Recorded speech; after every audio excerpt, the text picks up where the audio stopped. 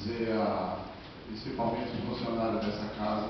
que eu não sou contra, eu falei na minha fala no instante, eu não sou contra quem trabalha, eu sou trabalhador, então eu sou contra aqueles,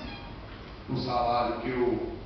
de maneira, por certo ou errado, interpretei de 50% a 100%, como eu falei, que para mim, eu acho que é um salário, um aumento abusivo, então eu não sou contra